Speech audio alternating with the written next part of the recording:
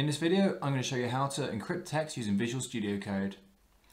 To do this, we first need to install an extension.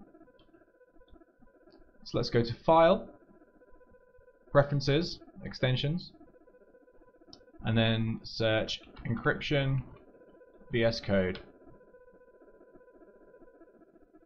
Install this.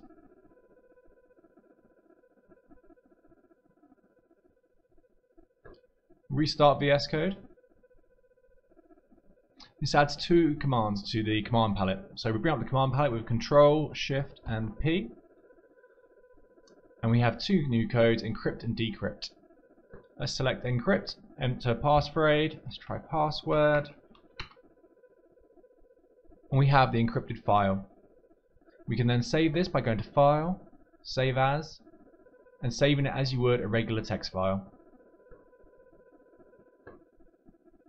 To decrypt, we press Control Shift P, click Decrypt, and then enter the password, and your file is decrypted again. We can use this for text files, code, anything that can go into the text editor. The protocol uses an AES standard for encryption and it's all open source on GitHub. If you want to know more, then there's a blog post on my website which includes links to the GitHub repository. Thanks for watching I hope this helped you keep your documents secure.